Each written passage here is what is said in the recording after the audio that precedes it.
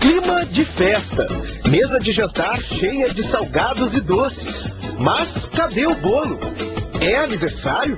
Não, é uma comemoração mesmo, né? Que eu ainda não tive tempo pra reunir todas as minhas amigas e tal, minha família. E agora que tá todo mundo junto, a gente resolveu fazer uma pequena confraternização. Confraternização da Vitória.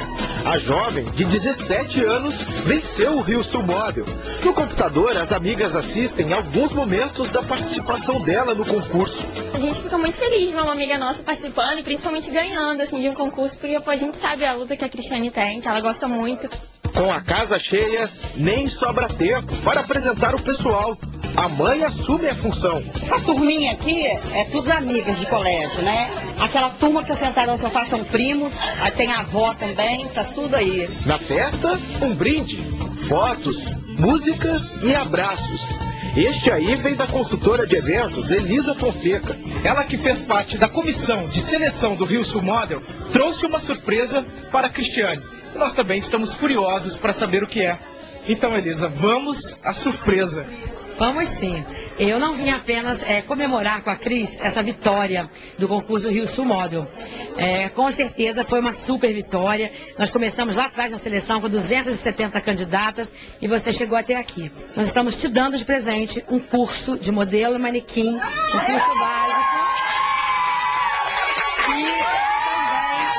Também o seu agenciamento. Um prêmio extra, além do book feito pelo fotógrafo Rafael de Paula.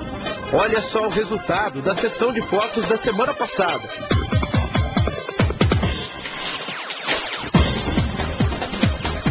E onde essa menina gosta de passar a maior parte do dia? O local que a Cristiane nos trouxe é o quarto dela. Por que, que você resolveu mostrar o seu quarto nessa reportagem? O que, que ele significa para você?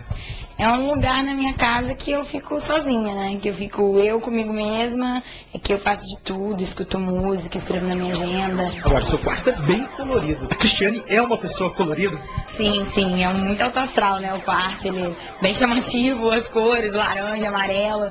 Ele, eu ainda dividi ele com a minha irmã, ela também gosta bastante de urso, de cor, então ficou assim, bem colorido, bem a nossa cara.